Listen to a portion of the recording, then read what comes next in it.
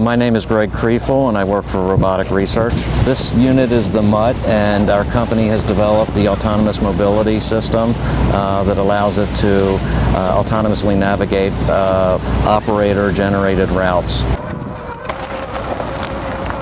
We can also teleop, uh, teleoperation, remote operation um, of the robot through the OCU, uh, getting uh, direct video feedback to allow the operator to determine where it should go. Uh, so, so, the primary sensor on the autonomous navigation system is the LiDAR. Uh, what it does is it sends lasers out uh, across the environment. Uh, those lasers bounce off of obstacles and create a, a very detailed point cloud to determine where it can and can't navigate. I think that's the most rewarding part uh, in the whole effort is seeing it behave uh, very characteristically well.